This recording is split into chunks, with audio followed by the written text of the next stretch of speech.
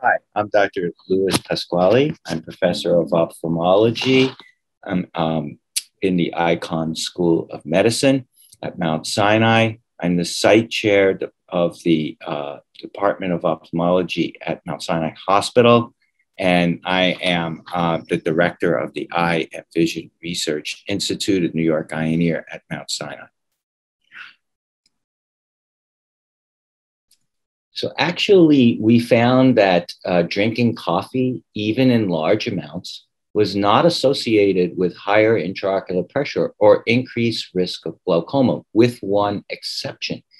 That is, if you had a strong genetic predisposition to having a higher intraocular pressure, then caffeine consumption was associated with a very uh, modest increase in intraocular pressure and a high risk of developing glaucoma. Now, translating this to your question, if glaucoma doesn't run in your family, you don't need to worry about coffee consumption. Um, if you have a family history of glaucoma, you may want to curtail your consumption of coffee to about two cups per day. Well, um, I, I, according to the Mayo Clinic, uh, the recommended amount of caffeine consumption is about 400 milligrams per day for a healthy adult. Uh, that sort of translates to about two, two and a half cups of coffee. Um, of course, um, one needs to consider the age of the person and their medical history uh, when making recommendations like that, but that's sort of the average. So an eye pressure is, is a vital sign, just like your heart rate and your blood pressure. It's hard to know uh, what your blood pressure is. And similarly, it's very hard to know what your eye pressure is. So you really have to have an eye examination to really know what your eye pressure is. So again, high eye pressure uh, is a risk factor. It's not a disease. It's a risk factor for glaucoma. And glaucoma is a disease of the optic nerve, and the optic nerves are like telephone cables that connect the eye to the brain. And if the pressure is too high for your optic nerves, then damage can occur. Intraocular pressure has a strong genetic component.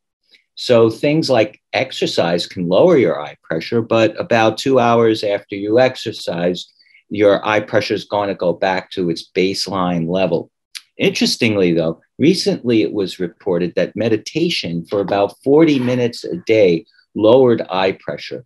Uh, after that, we have, of course, uh, as, a, as a glaucoma specialist, we have medicines, laser procedures, and surgeries that lower pressure as, as deemed appropriate by the uh, eye care provider. Well, more research is, that's a great question. More research is needed at, on that. We only tested whether an intraocular genetic risk score uh, interacted with caffeine consumption in relationship to glaucoma risk. Again, glaucoma is a disease of the optic nerves, and we actually have discovered another batch of genes that seem to make the optic nerve more vulnerable uh, to glaucoma, regardless of what the intraocular pressure is. So, future research could investigate whether testing such a panel of genes interacts with caffeine consumption to influence the risk of glaucoma. So, at this time, we don't know for sure. Yeah, that's a great question, and that's going to be the subject of a future NIH grant, which we hope to get soon. Um, as I've said a few times, we've learned a lot about genes that control your intraocular pressure level, about genes that control whether or not you're vulnerable to optic nerve damage. But we see many patients who, who seem to have no family history of glaucoma and they still get the disease. So there's a lot of undisclosed factors that contribute to glaucoma. So more research is needed. So the answer to the question is even with a negative family history of glaucoma, you can still get the disease. Well, thank you for asking that because I think that there's been some confusion about the study, and I have received a lot of feedback, including from doctors who said this study doesn't make sense. Uh, you know 75% of people or people let's say in this below the 75th percentile for genetic predisposition to higher intraocular pressure seemed to have, uh, for them, coffee consumption was safe. Um, and so, how could you say that there is this risk uh, involved amongst those with the highest uh, genetic predisposition uh, to having a higher pressure? So, what I want to emphasize is that we're not saying coffee is a bad thing. And in fact, again, uh, there was a recent uh, article in the New York Times that just came out yesterday uh, with uh, the New York Times interviewing Walter Willett, who he's one of my colleagues. I work with him. We're on several papers together. This, this man is amazing in terms of his knowledge of diet and medicine in general and in glaucoma in particular you know and they he was pointing out how for almost every health outcome it seems like caffeine consumption is uh, at worst having no effect and in some instances helpful.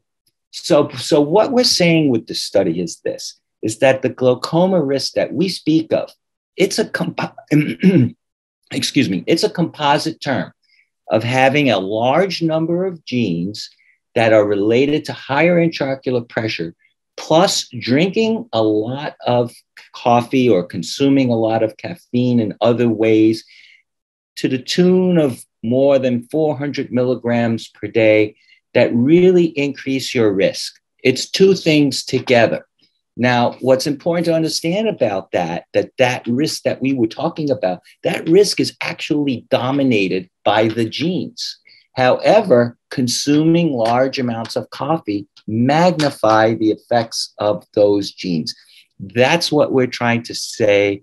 That's what's been the subject of my research for the past 10 years to find how genes and environment interact in a way to modify your risk of glaucoma one way or the other, either for the good or for the bad. So, if those people that had the highest risk score for having high IOP consumed no coffee, they would still be at risk for developing glaucoma. And that's a very important message. And, you know, this work that I've done has given me reason to think about wow, it would be great to find environmental factors which would actually mitigate that genetic predisposition to the disease. What we are reporting on now is a gene environment interaction where a certain behavior, consuming large amounts of caffeine, actually exaggerate the genetic risk for the disease. So we continue to search for gene environment interactions in glaucoma, and particularly those that might mitigate against the risk of uh, developing glaucoma. You might ask, does such a thing exist in all of medicine? The answer is yes. So, for instance, we know of hundreds of genes that are responsible for your weight. And we know um, that you know there are people that have trouble controlling their weight and it's probably on a genetic basis. However, we've done some research, and I'm on some of these papers that indicate, for instance, that if you uh, have a genetic predisposition to obesity, exercise actually helps to mitigate against that risk. And so, those are the kinds of things we would like to find for glaucoma as well. We haven't found them yet, but we're looking. So we found that leafy green vegetables that are high in nitrates, um, they're associated with reduced risk of glaucoma. And there's also some evidence that they're helpful in preventing the onset of age-related macular degeneration. So far, we've not really found any foods that are associated with adverse effects on glaucoma. So um, when we say that, let's talk in general, like what things that would be helpful for prevention or reducing the risk of any uh, eye disease. And so I would say, I like to say there's seven habits for eye health. Uh, one is protecting your eyes from the sun. Um, so we have shown uh, that too much sun hitting the eye over the course of your lifetime increases your risk of something called exfoliation glaucoma. And there is some suggestion that this also increases the risk of macular degeneration. Um, eat lots of leafy green vegetables, as I've said before, that seems to help retard the onset of glaucoma and uh, macular degeneration.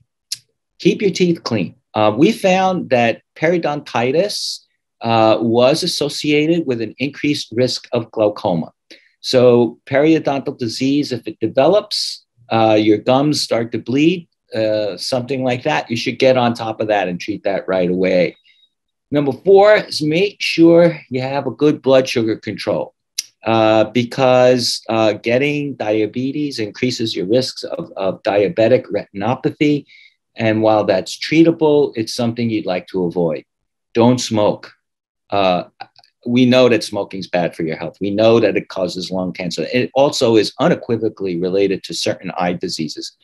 Uh, namely, um, macular degeneration is a str- uh, smoking is a strong risk factor for that, and thyroid eye disease. So patients that have a tendency for their thyroid to uh, to become dysfunctional, uh, they can get uh, thyroid eye signs if they smoke.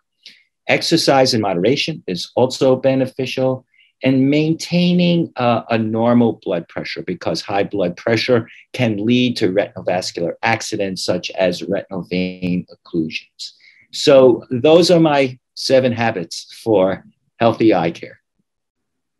So, I think it's very important, um, particularly if you're in an occupation that finds you outside all day, working around places where the sun can uh, bounce off the ground and into the eye, such as working around water, working around snow, working around sand. These are all excellent refre- um, reflective surfaces.